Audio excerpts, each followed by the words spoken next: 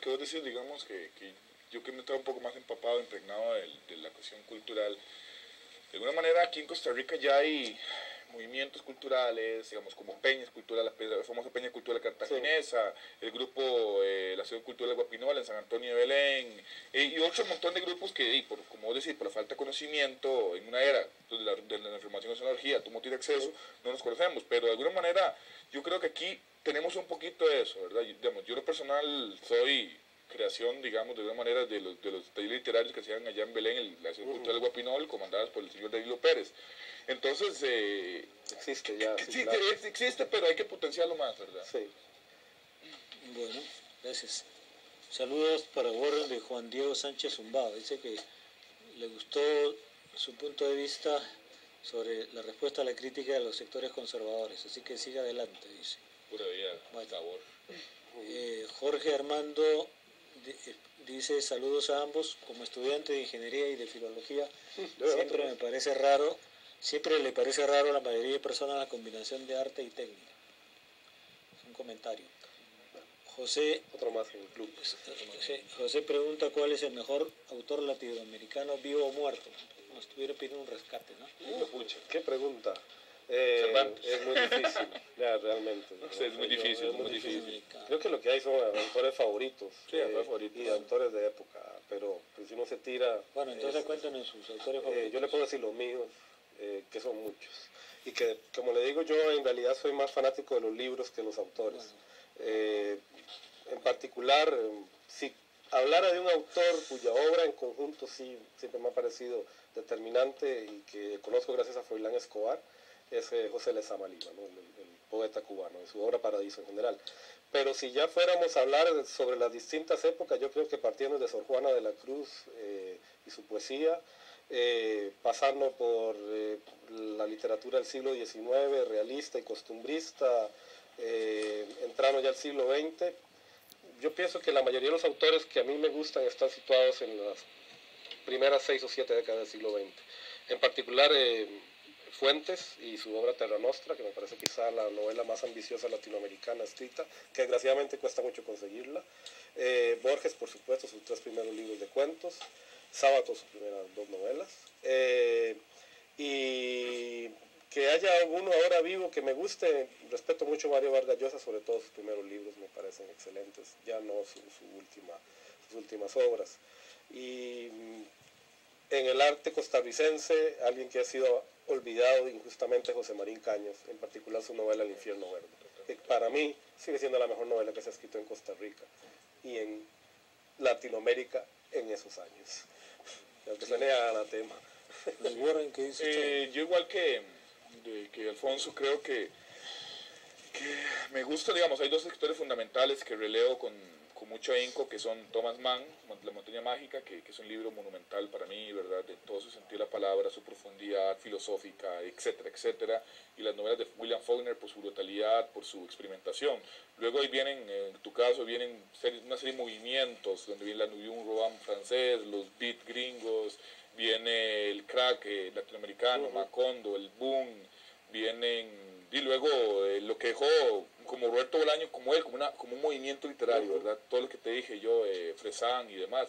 Creo que, que en lo personal sí son muchos, es decir, soy muy, muy apegado a la literatura norteamericana, los años 50, 60, Saúl Belu, que me encanta cuando leo, es enorme, gigantesco. No hay novela mala. De sí, no, no, no tiene novela mala, ¿verdad? Es un monstruo. Entonces son como ese tipo de literatura que, que, que me gustaría en un momento dado decir que, que bueno, con solo leerlo uno lo disfruta y, y, a veces uno, uno son los libros de cabecera, aunque usted va a dormir, se lee los capítulos de una novela, que ya la he leído mil veces, pero ahí está y son, son autores que en lo personal, Malcolm Lowry, Bajo el Volcán, ¿verdad? Que, que, es una novela impresionante. Son, soy muy, muy de, lo, de la escuela norteamericana, pero 50, 60 y por ahí 70. Ya lo otro me parece como una serie de experimentación y buscando, ese, digamos, David Foster Wallace, el mismo Franzen. Hay, cierto, hay como una, una, una, generación ahí que todavía está como, como en eso, ¿verdad? Y de aquí en Centroamérica, en poesía, de Carlos Martínez Rivas, que me parece soberbio, está solo, los, los, poetas nicaragüenses, Alfonso Cuadra, bueno, a mí no me gusta para nada la, la obra de, Ernesto, Ernesto Cardenal, me, encanta mucho Joaquín Pasos, digamos. Me gusta mucho la poesía nicaragüense exteriorista que viene, que es derivada de, la poesía exteriorista gringa, Rapón, T.S. Eliot, Entonces sí, me gusta mucho, bueno, muchos autores en realidad. Sí, está bien. sí. Bueno, Adrián pregunta cómo es escribir para un contexto costarricense que cada vez pierde más el interés por la lectura. Yo pienso que de ahí, eh, mm, qué sé yo, bueno, tomando la palabra, este, em, es importante sobre todo qué tan enamorado está uno de lo que hace. Y en eso yo siempre he aprendido que el placer del arte también a través de mi amigo Froilán lo, he desarrollado ese gusto por la creación. Eso es lo importante, sentir el placer en la creación. Ya, como decía Margaret Atwood, esta escuela canadiense, bueno, ya la, fama y la trascendencia dejémosela al tiempo si llega. Lo importante es enfocarse en lo que yo hago y en expresarme y en escribir. Y yo pienso que eso es lo que lo más importante. Si uno está pensando en que en el contexto cultural, en las limitaciones que vimos ahora, es, simplemente cerrar la computadora o el cuaderno y dejar de escribir. Si hay un placer en la creación, en el momento de crear, eh, es, es, más que suficiente y creo que es necesario. Ya después, lo que sigue, como decía Proust, ya una vez que uno termina el libro, que él se cree su posteridad. Y yo sigo con lo mío. Igual, yo creo que de que para eso hay que ser muy intuitivo, hay que tener todos los sentidos abiertos para ver cosas, empezar a delimitar cosas que me interesan de mi realidad inmediata. Cuando escribo como tu caso hay que disfrutarla, es decir, escribo un momento, punto, y ya, ya no, es una cuestión que trate yo de, de hacer de que novela de crítica social, novela, no, no me interesa, creo que que es, es, el momento en el que uno tiene que andar con las antenas abiertas, eh, los oídos abiertos para ver qué cuestiones le, pueden interesar. Entonces, creo que yo en ese momento, como en mi proceso literario, en mi foro interno, estoy en esa cuestión de, de, de a ver, de exteriorizar eh, nuestra realidad costarricense de alguna forma. Tal vez un periodo literario que, que estoy atravesando y que espero terminar de sacar eh, con, con esta, no, esta novela que estoy escribiendo y a la postre también una novela histórica de un personaje que se ha olvidado en la historia de nuestro país, que, que es Lorenzo Cambronero, con una historia muy interesante, una novela histórica, que, que, es un género que me gustaría explorar porque es muy poco explorable, quizás porque no, nuestros escritores nos dan a la tarea de, del trabajo de exploración, del trabajo de análisis, de estudio, porque sea como sea, escribir una novela y casi como una tesis, hay que estar estudiando, hay que estar leyendo, hay que estar guiando a filólogos, es todo un proceso y aunque no, aunque no parezca, es muy, muy cansado, muy, muy agotador. Sí, gracias.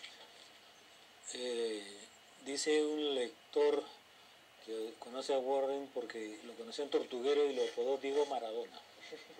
Él pregunta qué temas consideran ustedes que surgen en la literatura costarricense que generaciones anteriores no veían. Pues, cambiamos la... Okay. en lo personal, eh, creo que